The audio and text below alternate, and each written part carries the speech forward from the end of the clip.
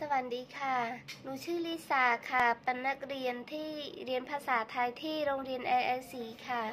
หนูเริ่มเรียนภาษาไทยตั้งแต่เดือนเอ่อเมษายนมาค่ะ มาถึงนี้ก็ประมาณ 8 เดือนแล้ว สาเหตุที่หนูเริ่มเรียนภาษาไทย เพราะว่าหนูเป็นคนที่ค่อนข้างที่จะชอบภาษาไทยมาก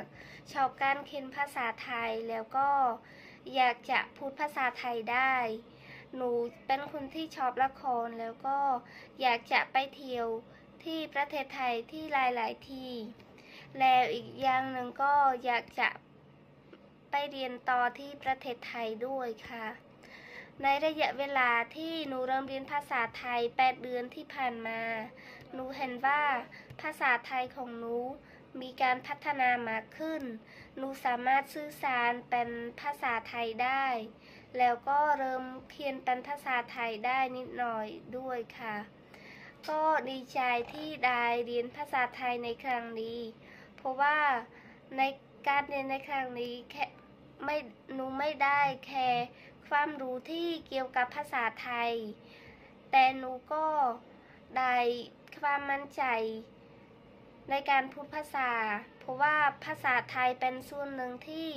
ทำให้หนูมีความมั่นใจมากขึ้น ในการพูดหลายๆภาษา หนูอยากจะไปเรียนต่อที่ประเทศไทย เพราะว่า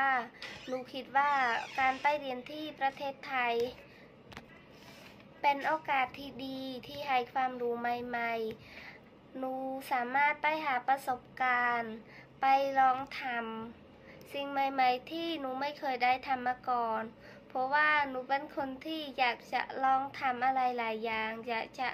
ให้ตัวเองเรียนรู้ แล้วก็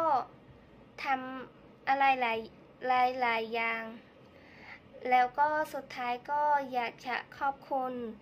AIC แล้วก็อยากจะขอบคุณคุณครูทุกท่านที่ เออสอนที่โรงเรียน AIC